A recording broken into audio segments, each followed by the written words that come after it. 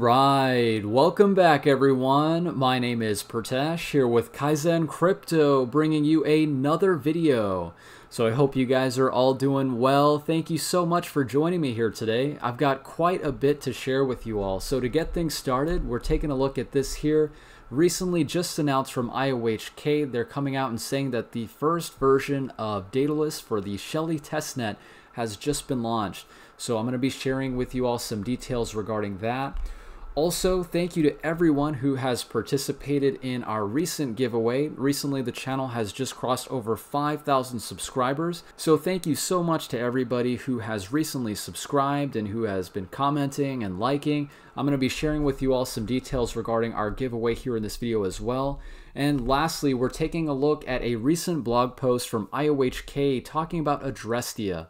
So all of that is going to be here in this video, so stay tuned. All right, you guys, so to get things started, we're taking a look at this article here on the Cardano blog, uh, talking about some of the information regarding the latest version of Daedalus that has been released for the Shelley testnet.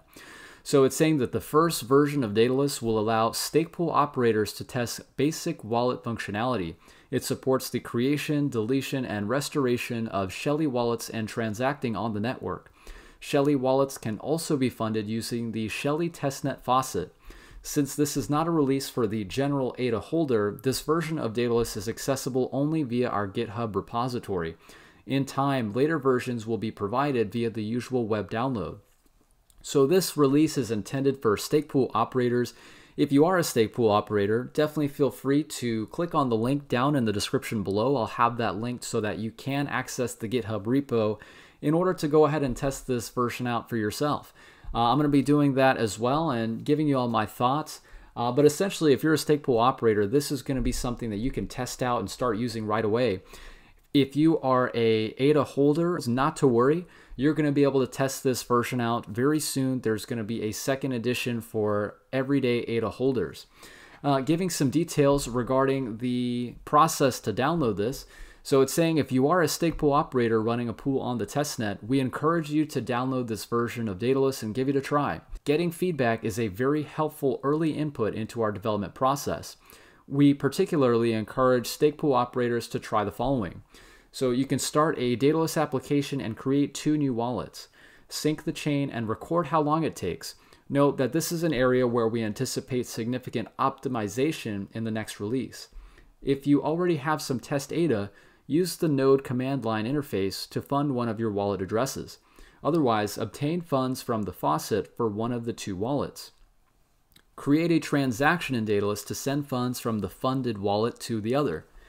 Check when the transaction has succeeded. Please note the time and create an additional five separate transactions over a 24 hour period to send funds to yourself or to other testnet users and create occasional transactions from then on. Note that the network isn't yet optimized for stress testing, so there is no value in this at this point, but this will give us a good sense of normal usage. So that's very cool. Uh, they're essentially trying to find all the bugs very early on with this version of Daedalus. So this is intended for stake pool operators. If you are a stake pool operator, I encourage you to do so. I think this is really going to help get the necessary data to these developers so that they can optimize this for the mainnet. So that is what I have for you regarding the new version of Daedalus. Make sure you stay tuned when that does become available for ADA holders. I will be sure to keep you all posted. Next, we're going to be taking a look at what we can expect coming up very soon. So today is June 16th. We have the Shelley test wallet available for stake pool operators. Coming up very soon on June 23rd, we can see the hard fork combinator test.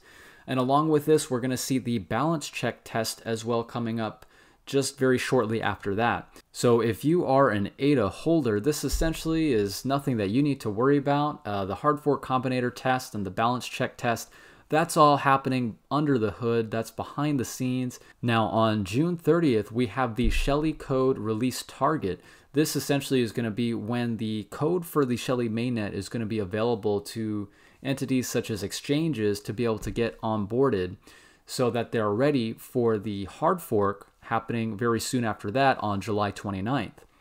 So, those are some things that we can anticipate here coming up very soon. I know these months are going to fly by so quickly. Uh, so, I'm going to make sure to keep you all updated with that. If you haven't already, be sure to hit that subscribe button. That way, you can stay up to date. And last thing I wanted to share with you all here in this video today. So, a recent blog post from IOHK talking more about Adrestia with this article, I'm just going to go ahead and read it and share with you guys some of my thoughts as to what I think this is going to do and how it's going to help with implementing updates and adoption for the Cardano blockchain as time goes on. So, for exchanges and developer partners, integrating with any blockchain can be challenging. The technology often moves so quickly that keeping up with the pace of change can be unrealistic. Cardano's development and release process are now driving things forward apace. Managing parallel software development workstreams moving at different speeds can feel a bit like changing the tires on a truck while it's driving at 60 miles per hour. Cardano's vision is to provide unparalleled security and sustainability to decentralized applications, systems, and societies. It has been created to be the most technologically advanced and environmentally sustainable blockchain platform offering a secure, transparent, and scalable template for how we work, interact, and create as individuals, businesses, and societies. In line with these ambitions, we needed to devise a way that our partners could swiftly, easily, and reliably integrate with Cardano, regardless of what is going on under the hood. Whatever the pace and cadence of future rollouts, we wanted to develop a consistent method by which all the updates to the core node could be easily adopted by everyone. In order to make that integration and interaction with Cardano easier and faster, IOHK engineers formed the Adrestia team to take responsibility for building all the web APIs and libraries that make Cardano accessible to developers and application builders. Developments to the node can then focus on performance and scalability, while users will always be able to interact with it effortlessly.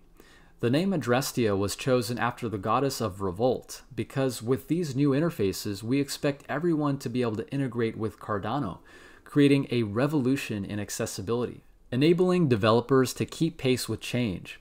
The goal of the Adrestia team is to provide, via web APIs, a consistent integration experience so that developers can know what to expect between Cardano roadmap releases whether they are a wallet developer or an exchange, users can flexibly explore the chain, make transactions, and more. The APIs are as follows. In addition to providing a flexible and productive way to integrate with Cardano, maintenance is also made easier.